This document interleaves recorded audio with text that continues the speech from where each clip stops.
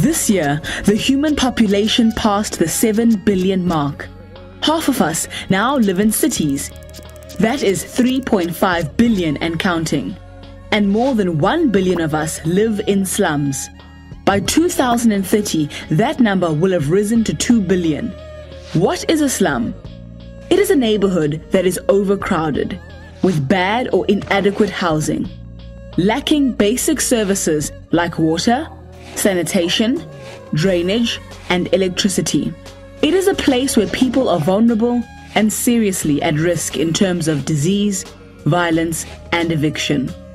Some experts estimate that it will cost about 800 billion simply to provide secure tenure to all slum dwellers, let alone to improve the living conditions of all slum dwellers in the world.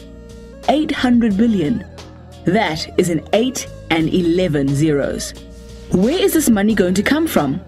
Remember that in most of the 2 billion people living in the slums by 2030 and living in squalid conditions without basic services are too poor to pay for these services, let alone pay for the actual installation of this infrastructure. In fact, there are many reasons why the number of slums are growing, especially in cities in the developing South. But perhaps the biggest challenge is trying to find a way to bridge this huge finance gap